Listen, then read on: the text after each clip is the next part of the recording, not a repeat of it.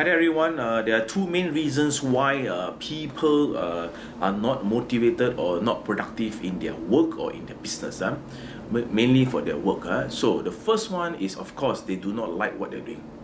Uh, they, they are forced to study the subject uh, or and after that they have to find a job based on what the uh, their degree is or the diploma is. Uh. So the second reason is of course uh, the money that they're getting from the job. Maybe the money that they're getting from the job is too uh, small or insignificant and they are not motivated by the money.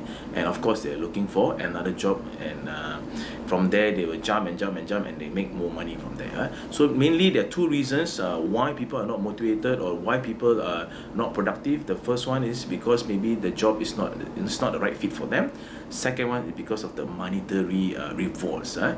so in order for you as a business owner or in order for you as a uh, as an employee you need to make sure that you find the right job based on your passion. Of course it's not easy to find a job based on your passion and earn money from it. it is not easy. Definitely not easy. But nevertheless I've done it alright? Uh, you can read my book uh, overcome tough times uh, uh, I'll share with you alright uh, how to get the job that you want and being paid. Yes it's not three figure it's not four figure it could be five figure. Take care and God bless you. Bye